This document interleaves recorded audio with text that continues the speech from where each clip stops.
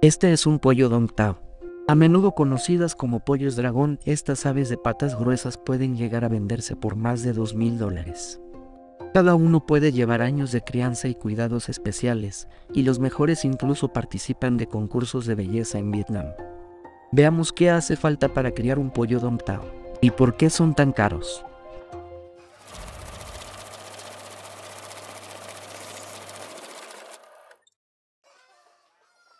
Dom Tao es una raza poco común y exclusiva de un pequeño pueblo en las afueras de Hanoi. Hian Tuan Bu es un criador de pollos Dom Tao de tercera generación y lleva más de 20 años criando estas aves. Thì mình đã chăn nuôi nó 20 năm. À, từ lúc những lúc còn rất là nhỏ, học tiểu học, học lớp 5 thì mình đã yêu thích nó. Vì mình cũng rất là may mắn hơn mọi người là ông ngoại và ông nội của mình đều là những người rất nổi tiếng với con gà này. Còn nếu mà phát triển uh, quy mô lớn hơn thì trong khoảng 10 năm nay thì mình đã uh, xây dựng trang trại và chăn nuôi nó với quy mô lớn hơn. Cái lý do mà mình yêu thích cái sản phẩm à, cái lý do mà mình yêu thích cái con gà đông tảo này thì mình nghĩ là bắt nguồn bản thân mình là một người đông tảo. Ngày xưa thì đông xã đông tảo rất là nhỏ nó chỉ có hai ba nghìn dân thôi. Đấy mà nó sở hữu riêng một giống gà riêng mà không có vùng đất nào khác ở Việt Nam có.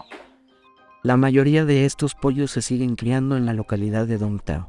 Aunque se desconocen los orígenes exactos de la raza, estos pollos han existido por cientos de años y se cree que se criaban para peleas de gallos por sus patas gruesas y fuertes.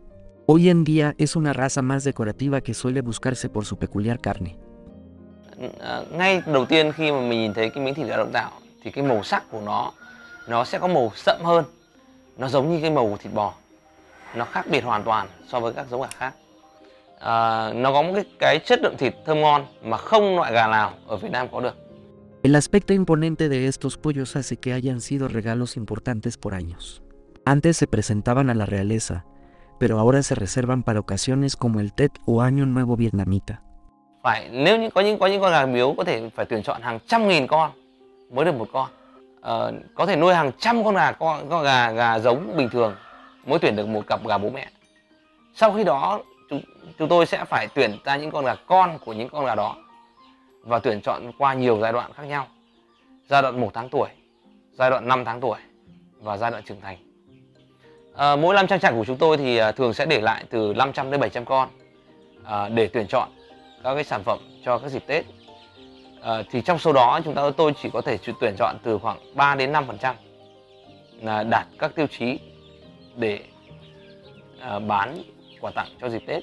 Số còn lại thì chúng tôi sẽ bán theo diện gà thương phẩm từ 200 đến 500 nghìn một cân. Esto significa que de los 500 pollitos, solo 15 podrían ser vendidos como regalo. Entonces, ¿cuáles son los criterios que deben cumplir estos pollos para valer miles de dólares?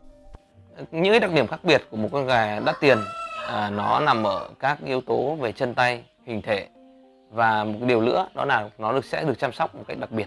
Mà nó không có một con gà nào khác được chăm sóc như vậy.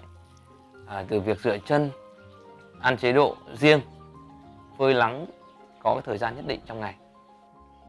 Ở một con gà loại A sẽ có một đôi chân à, dòng chân đỏ vảy thịt có kích thước chân lớn và cái hình thức bên ngoài các yếu tố về hình thức bên ngoài trọn vẹn.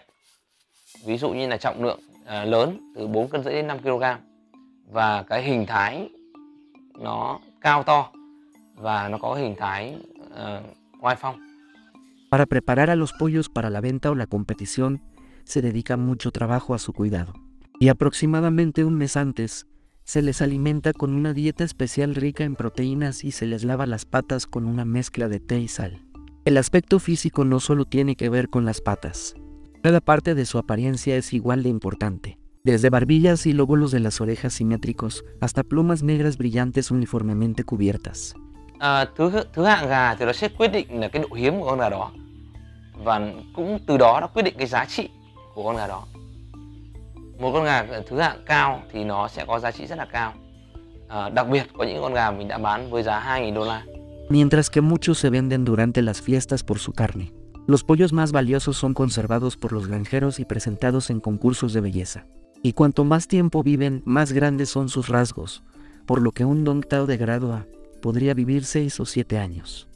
À, việc tuyển chọn và chăn nuôi một con gà để mang đi dự thi cũng được à, diễn ra rất cầu kỳ à, cái kinh nghiệm này nó truyền từ đời này qua đời khác à, từ việc ăn uống chế độ ra sao phơi lắng bao nhiêu tiếng một ngày ăn những loại vật à, ăn những loại thực phẩm nào để tốt cho phần nào thì cũng được à,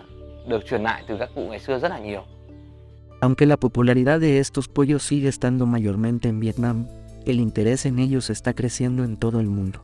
Pero en abril de 2018, 802 huevos de Don Tao fueron incautados por la policía en el aeropuerto Ataturk de Estambul, donde fueron introducidos ilegalmente en una maleta hecha a medida. Los huevos fueron valuados en 2 mil dólares cada uno. Esto demuestra que no importa el precio de estos pollos, ya que siempre habrá quien quiera pagarlo.